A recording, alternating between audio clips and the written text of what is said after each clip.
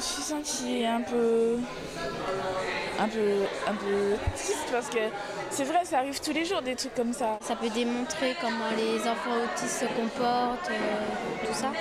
Ça va t'encourager à faire plus attention à eux. Ça nous a permis de ne pas nous moquer des autres et de ne pas les rejeter. Mais moi, je peux avoir une maladie grave Pense pas à ça, mon cœur. Mais maman, tout le monde meurt. Mais pas toute une maladie grave. Non, maman, tout le monde meurt. Oui, oui. Qu'est-ce qui crée l'énergie du cœur pour qu'il marche L'objectif est une, euh, est une sensibilisation à l'autisme à toute la population martiniquaise. Qu'on ne, qu'on ne catalogue pas l'autisme comme étant euh, euh, des choses, une, chose, une chose surnaturelle.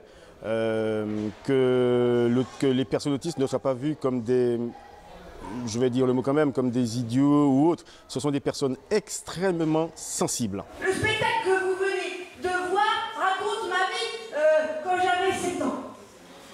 Maintenant, j'ai 11 ans. Personne ne croyait en moi alors que j'étais capable de beaucoup de choses. Et maintenant, j'ai des amis qui croient en moi et j'ai fait beaucoup de progrès et je suis fière de moi.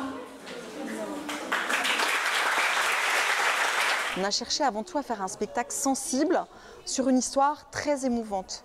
Et du coup, ça lui donne aussi des lettres de noblesse. Euh, et c'est pour ça aussi, je pense, qu'il touche, parce que on, on donne vraiment à voir une histoire humaine avant tout. C'est déjà les, jeunes gens qui sont venus voir le spectacle ce matin repartent en se disant ah mais en fait euh, les autistes, en fait c'est des gens comme moi. C'est juste qu'ils fonctionnent un petit peu différemment.